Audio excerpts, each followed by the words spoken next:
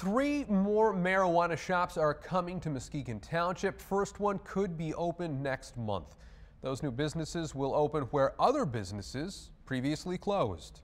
Interest in the vacant properties spiked after voters approved marijuana for recreational use. Two shops are expected to open on Apple Avenue, one on Holton Road. Here's 13 on your side Lakeshore reporter John Mills with more on where the township wanted those shops to be.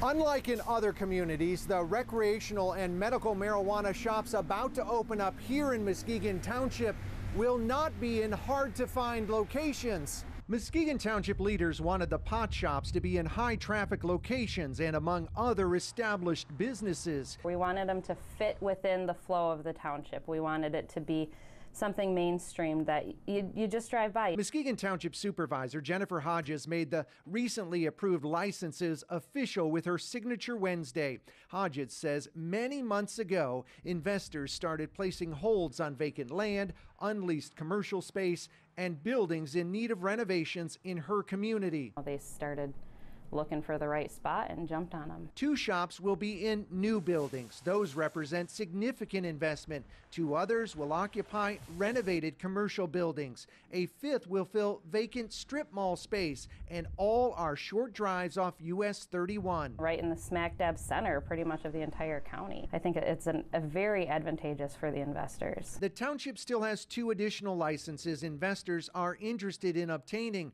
Hodges says the state's new marijuana industry was the spark needed to get some of these long vacant properties back on the tax rolls. The exact economic impact on Muskegon Township is currently unknown, but in investment alone, that impact is already being felt. The vacant lots, you know, getting some buildings on them and getting these other buildings fixed up and more appealing. It's just a win all around.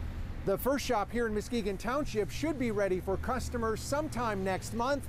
Others are expected to open up later this spring, summer, and some this fall. In Muskegon Township, John Mills, 13 on your side.